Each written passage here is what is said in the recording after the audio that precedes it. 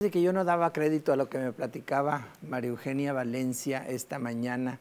Sin embargo, ella se apersonó allá a la colonia Ignacio Zaragoza para cerciorarse de que era cierto. Y sí, es cierto, tronaron los pisos por las altas temperaturas en escuelas y en algunas casas. Vamos a ver la historia que nos platica.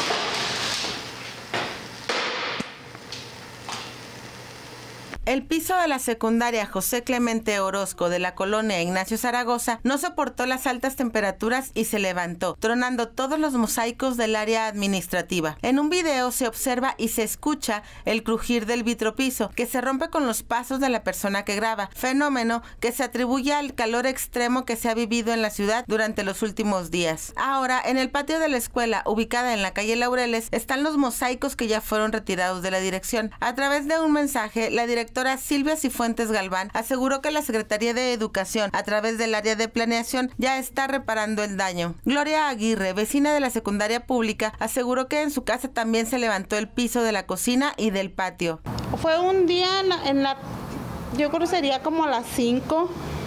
Eh, yo entro para el, para el lado donde tengo, mi esposo tiene un, un negocio, entonces yo, yo entro y piso y se siente la bola o sea, como una bola.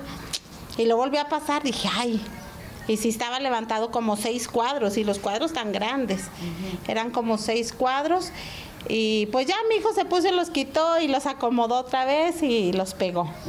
Y luego, como en la noche, ya andando haciéndoles de cenar y todo, por la, así en la cocina, ahí también, como seis. El piso es También de mi cocina. ¿Y es todo por el calor? Sí. ¿Ventiladores? Sí, solo ventiladores. ¿No Sí. ha pensado poner mini split o así? No, pues es muy caro. La señora Gloria opina que está bien que los niños terminen el año escolar en línea, porque el calor y la falta de ventilación en los salones puede ocasionarles un golpe de calor, como el que vivió su padre de 78 años de edad. Yo tengo a mi papá que ya es este mayor de edad, tiene 78 años y hace unos 15 días como que le dio un, un golpe de, de calor. Le vamos con el doctor porque él ya no podía caminar.